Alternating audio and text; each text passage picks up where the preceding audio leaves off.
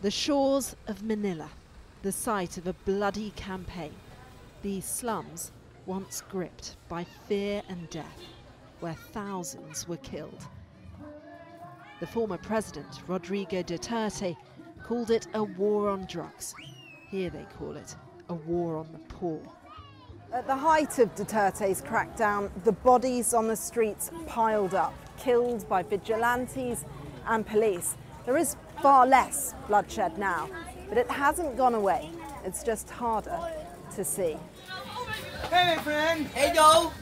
Violence was part of daily life here, and the streets still talk. In the shadows, we meet a hitman. They may be quieter these days, but he claims corrupt police still want guns for hire. Who's asking you to kill? The police give me an envelope with the money and the photo of the subject. I'll get between 20 and 30,000 pesos per head. Are you saying that the police are requesting direct hits on people? Yes, the police will give me the orders, and after I kill the target, I throw the gun away. I shoot them three times in the head because if the target survives, they could identify me. It's been called a war on the poor. Do you have any kind of guilt about what you're doing? I've got a lot of kids, and I always have to scavenge just to feed and support my family. I want to stop killing, but I'm given the direct order, and if I don't complete the job, I'll be killed. How many people do you think you've killed? 14. He says this is his other job, scavenging. Makes less than four pounds a day sifting through rubbish. Killing, he says, gets him up to 400. We can't independently verify his claims, and the police did not respond to our request for comment. They have, though, denied any wrongdoing in the drugs war, a conflict that's left its mark here. You know, when I say I shoot them dead, I'd prefer to shoot them in the heart or in the head. That's at the end of the problem. Duterte's era was marked by alleged extrajudicial killings of suspected drug dealers and users. He denies ordering them and claims the police acted in self defence. Now, Sky News can reveal investigators from the International Criminal Court have visited the country to probe possible crimes against humanity. We understand an arrest warrant for Duterte could be issued within the next six months. The current Philippine president, though, says he won't lift a finger for the investigation.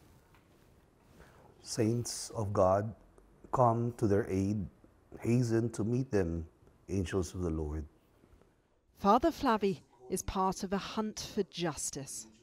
A gunman or gunmen would kill a father while he was even holding his four year old daughter.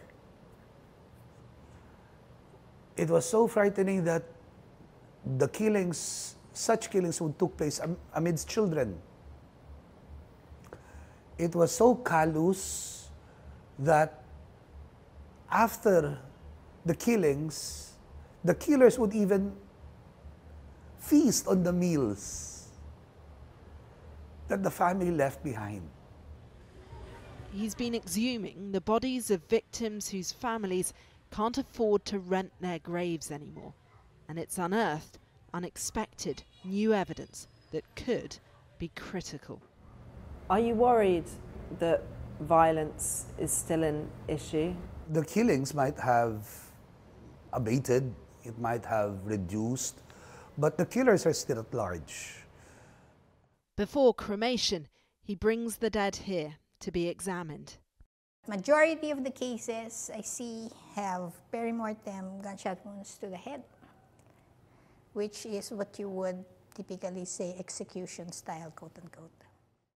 Dr. Raquel Fortun has inspected 94 bodies and discovered big inconsistencies. I have seen uh, death certificates where uh, a doctor somehow signed it out as a natural death pneumonia, sepsis, myocardial infarction. and yet he was really shocked. Sarah Solis lost two sons, Alman and Dickley, six months apart. Their exhumed remains are now in urns in the home she shares with nine of their children. She claims her sons were killed unlawfully. Police say they were drug suspects and that Dickley fired first. You buried two sons just six months apart. What impact has that had on your life? Grabe. It's difficult for me.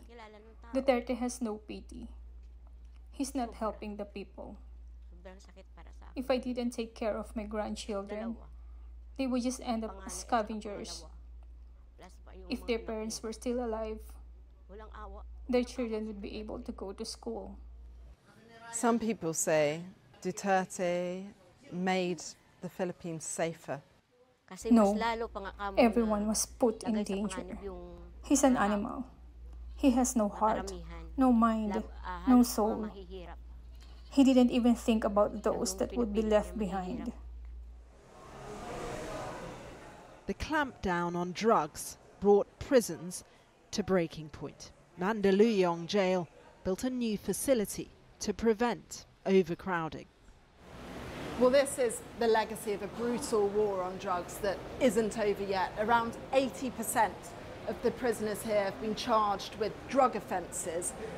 Some say they are simply the innocent victims of a bloody and cruel reign of terror by former President Rodrigo Duterte. His successor promised a more humane approach, launching a rehabilitation program.